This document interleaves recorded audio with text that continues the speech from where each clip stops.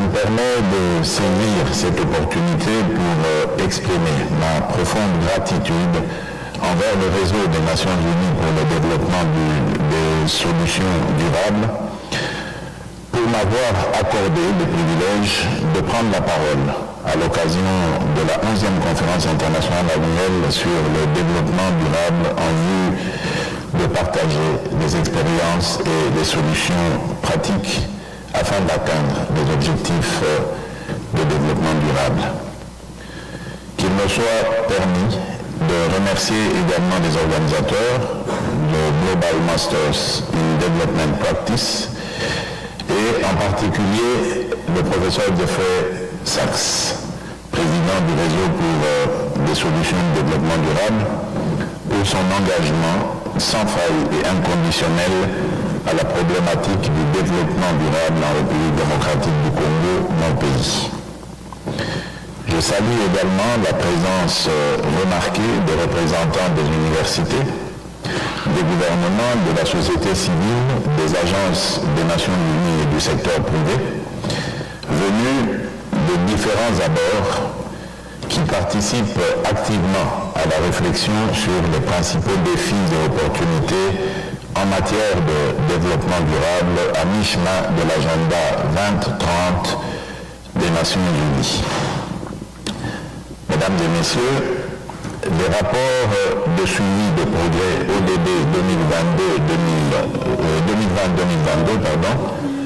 indiquent que les progrès en matière de développement se sont inversés sous l'effet conjugué des catastrophes climatiques, des conflits récurrents, de la récession économique et des effets persistants de la pandémie de Covid-19. Dans cette foulée, les inégalités et la pauvreté se sont aggravées. La faim et la malnutrition sont en augmentation. Les besoins humanitaires et les déplacements des populations, atteignent de, nouveaux records. Les catastrophes climatiques, mesdames et messieurs, le principe ne laisser personne de côté est au cœur de l'agenda 2030. Une cible ne peut être considérée comme atteinte si elle n'est pas atteinte universellement. Ainsi, agir pour vaincre la vulnérabilité et la pauvreté en ne laissant personne de côté constitue donc une condition sine qua non pour atteindre les ODD en République démocratique du Congo. Des politiques courageuses et urgentes doivent être prises afin d'élargir les mesures de protection sociale et d'endiguer les inégalités des revenus mais aussi pour soutenir les personnes vulnérables, dont les jeunes et les femmes. Accélérer les progrès vers les ODD reste un défi majeur pour un pays comme le nôtre.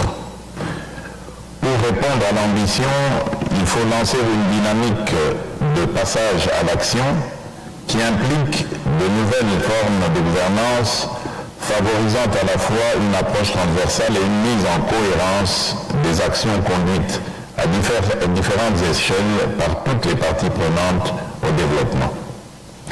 Cette vision et cette approche des ODD ont inspiré la feuille de route d'accélération des ODD adoptée par le gouvernement de la République démocratique du Congo en vue d'agir de manière plus approfondie, rapide et ambitieuse afin de provoquer une transformation sociale et économique nécessaire pour réaliser les ODD 2030.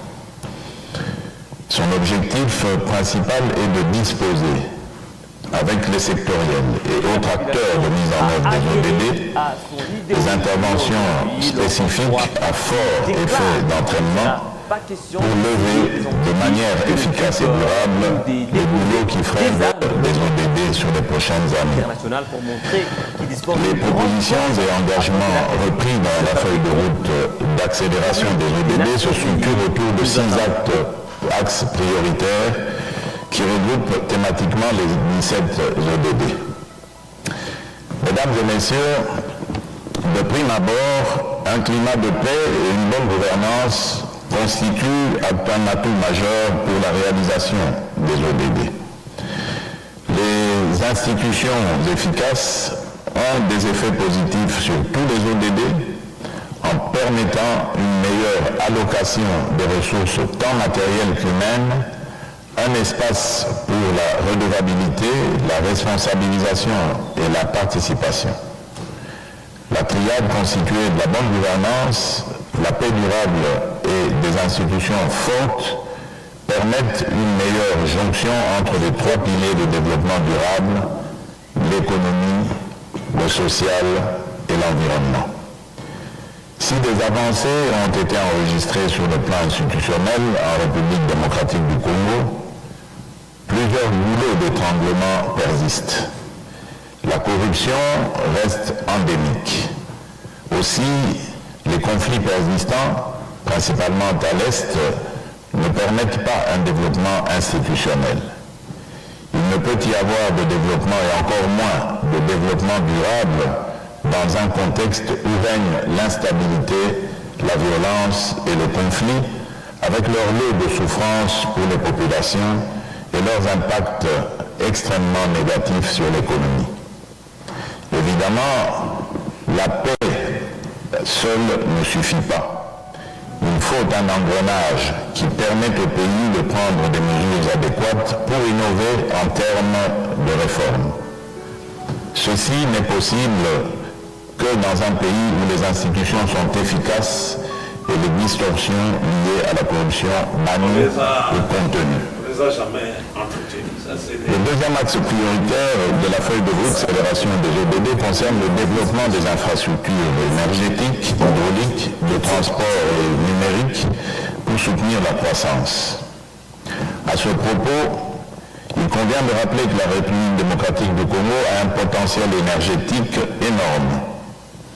Hormis le potentiel solaire, éolien et en biomasse, 1190 sites ont été identifiés pour des aménagements hydroélectriques sur l'ensemble du pays, totalisant plus de 100 000 MW. Paradoxalement, plus de 80% des Congolais n'ont pas accès à l'électricité avec de fortes disparités. Avec une économie de plus en plus intensive en énergie, cette carence constitue une des principales contraintes à une croissance durable et inclusive. Les technologies modernes, la croissance de la productivité et le développement d'activités à plus forte valeur ajoutée nécessitent davantage d'électricité. Le déficit en énergie, couplé au déficit en infrastructures de transport, constitue une des principales contraintes à l'accélération de progrès vers les ODD en République démocratique du Congo. Pour un pays aussi grand que la RDC en termes de superficie, la réhabilitation des infrastructures de transport endommagées reste une priorité. Une meilleure connectivité peut raviver l'activité économique et stimuler la croissance conditions nécessaires pour sortir des millions de Congolais de la pauvreté et de la vulnérabilité.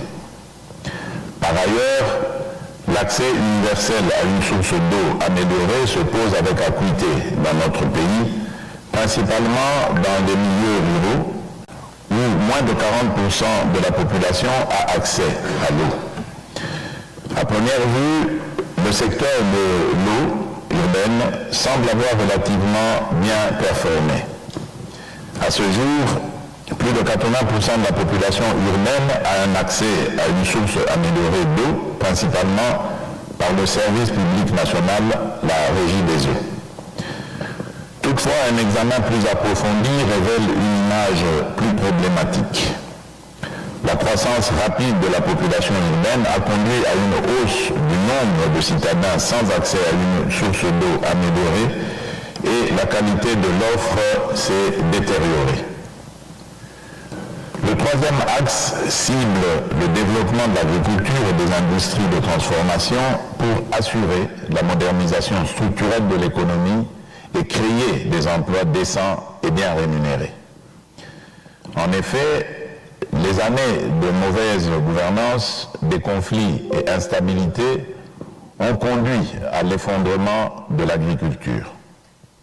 Le développement agricole et par ricochet l'amélioration des revenus tiré des activités agricoles et des activités rurales non agricoles peut contribuer à la création d'un cercle vertueux dans lequel la demande que génère la croissance agricole crée à son tour une demande de biens et services produits localement et non exportables. Un des défis de la République démocratique du Congo est de rendre l'agriculture nettement plus productive afin de parvenir à une plus grande sécurité alimentaire et de permettre le développement d'un éventail plus performant et diversifié de capacités productives. La République démocratique du Congo devra œuvrer pour augmenter la part de production agricole dans le produit intérieur brut. C'est tout le sens de notre objectif de la revanche du sol sur le sous-sol. Le quatrième axe prioritaire réunit les propositions et les engagements orientés au renforcement du capital humain, plus particulièrement les questions relatives à la santé, l'éducation et la protection sociale. L'un des principaux moteurs de la croissance, de la productivité de l'innovation est le développement du capital humain. Un système de protection sociale bien conçu et mis en œuvre constitue un élément puissant pour valoriser le capital humain, réduire les inégalités, renforcer la résilience et lutter contre la pauvreté.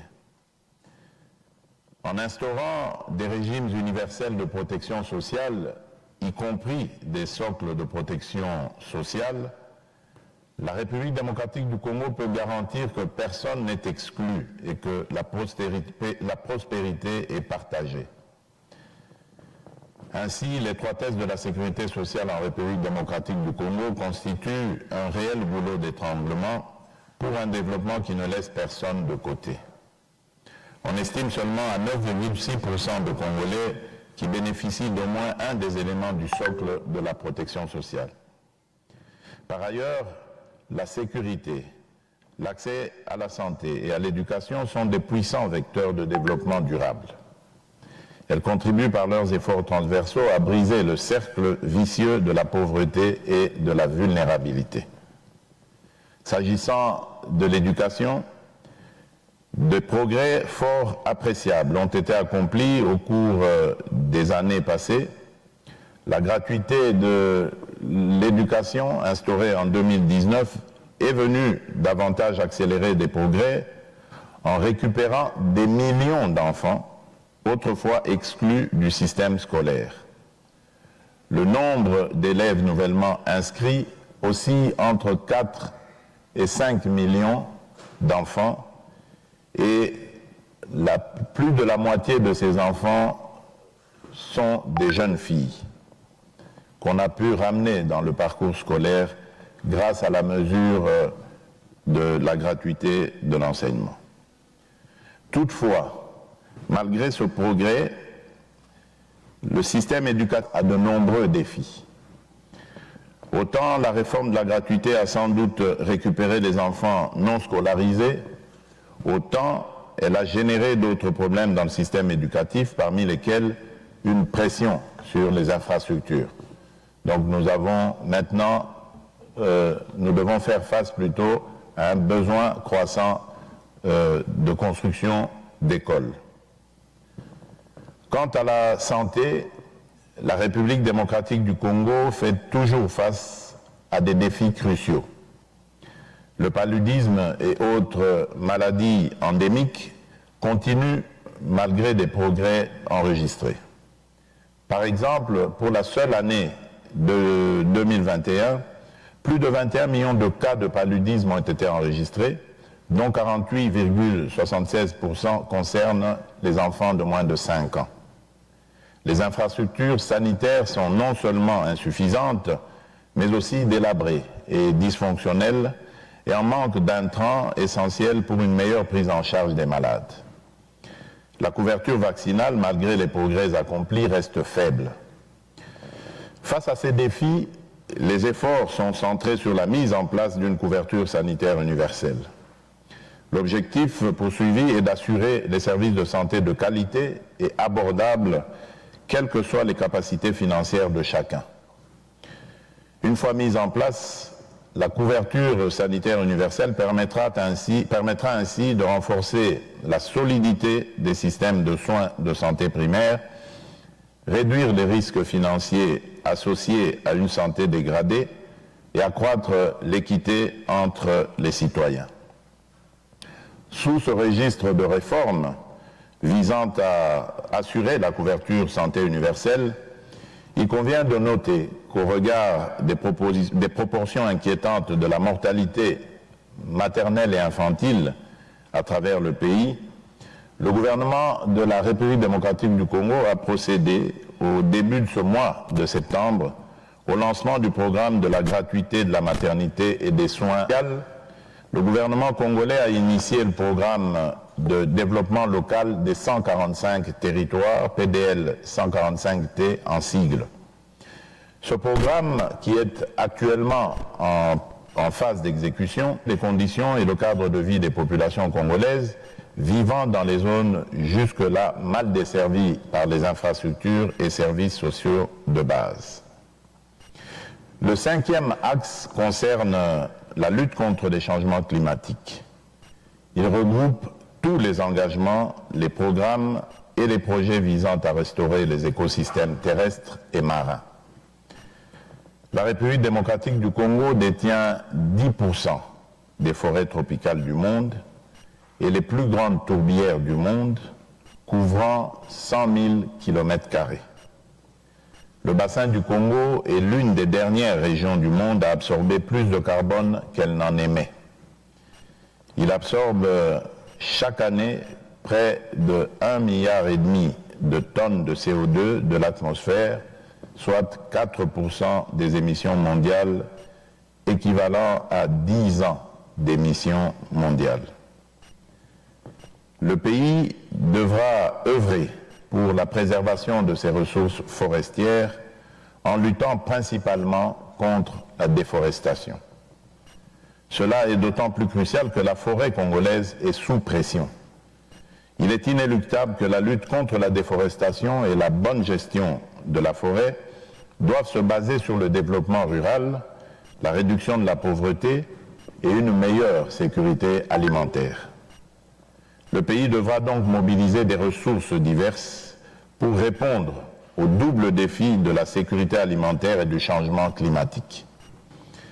Par ailleurs, le gouvernement congolais met en œuvre, met tout en œuvre plutôt pour lutter contre les changements climatiques et limiter, voire même mettre un terme à la destruction des écosystèmes marins et terrestres. C'est dans cette perspective que le pays s'est résolument engagé depuis 2015 à réduire les émissions de gaz à effet de serre de 21% d'ici 2030 en fonction des financements internationaux avec des actions clés dans les secteurs de forêt, de l'agriculture et de l'énergie. Le dernier axe de la feuille de route se propose de renforcer la mobilisation des ressources et des partenariats diversifiés pour soutenir la mise en œuvre des ODD. En effet, l'un des principaux défis de la mise en œuvre de l'agenda 2030 est le financement. Les ODD sont extrêmement ambitieux et exigent des moyens de financement colossaux, à défaut desquels il sera impossible de les atteindre d'ici 2030. Selon le Fonds monétaire international, un rapport de 2023, les dépenses supplémentaires euh, nécessaires à la réalisation des progrès conséquents dans cinq domaines primordiaux, la santé, l'éducation, l'électricité, l'eau, l'assainissement et l'hygiène et l'infrastructure routière, en 2030, s'élèvent à 43,9% du PIB, 9% du PIB. Devant de tels besoins, la République démocratique du Congo devra mobiliser les ressources internes et externes sur la base d'une feuille de route pour assurer le financement euh, des dépenses nécessaires. Toutefois, il est aujourd'hui largement admis que le financement des ODD repose en priorité sur des décisions à prendre au plan national et local, car c'est à cette échelle que peuvent être assurées la cohérence entre les différents objectifs et la redevabilité qui en découle. Aussi est-il indiqué de s'assurer que les ressources mobilisées sont efficacement affectées pour plus de résultats. Pour accélérer les progrès vers les ODD, le gouvernement doit repenser la dépense publique en la protégeant contre les chocs des prix par des mécanismes tels que le fonds souverain, mais aussi en créant suffisamment d'espace budgétaire afin d'investir les ressources publiques dans les secteurs porteurs de croissance. Aussi, il est crucial que le pays accélère les réformes dans la mobilisation des recettes intérieures hors ressources naturelles. Mesdames et Messieurs, représentants des partenaires de la République démocratique du Congo, chers experts, distingués invités et participants, Mesdames et Messieurs, alors qu'il ne reste que sept ans avant l'échéance de 2030, nous sommes bel et bien devant un défi majeur qui ne peut souffrir d'aucune négligence. Tout en réaffirmant la vocation de mon pays à continuer à mettre en œuvre des mesures accélératrices au cours de cette décennie d'action, je voudrais terminer en rappelant à la mobilisation générale en vue d'inverser la tendance actuelle et de répondre aux urgences auxquelles font face les Congolais. Ainsi, l'accélération effective des progrès vers l'atteinte des ODD en République démocratique du Congo nécessite un accompagnement efficace et durable de partenaires de développement, du secteur privé, de la société civile et d'une jeunesse inspirée et engagée telle que représentée aujourd'hui dans l'enceinte de la prestigieuse Université de Columbia. Je vous remercie. Thank you.